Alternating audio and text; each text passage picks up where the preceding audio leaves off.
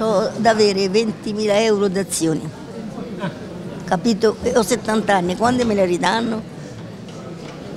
Non so, più c'ho da averli loro, i, i giovani c'hanno da averli parecchi. Vabbè, noi un 80% già l'abbiamo avuti, quindi già, però se il problema non sarà posto sarà molto più contenti, diciamo. Eh.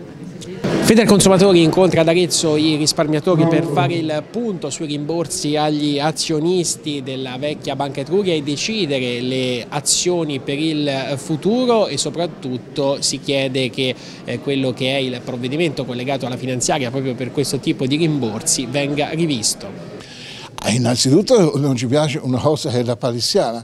In campagna elettorale hanno fatto il viottolo gli attuali segretari dei partiti che sono al governo, per eh, dire che i risparmiatori erano stati truffati e che era eh, ignobile che fossero state loro riservato un rimborso parziale perché loro avevano diritto al 100%.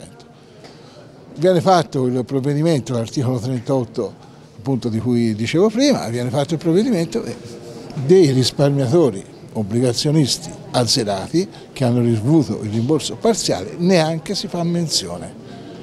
E, e quindi la, la, il primo emendamento che abbiamo presentato è proprio quello che si ripristini il diritto a ottenere il 100% così come è stato promesso in campagna elettorale per queste persone. Anche perché c'è una sostanziale differenza.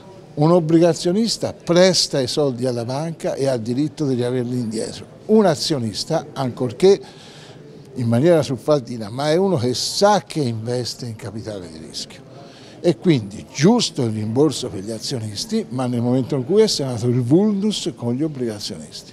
Io sono uno di quelli che praticamente ha ripreso diciamo, l'80% di quello che era investito. Insomma.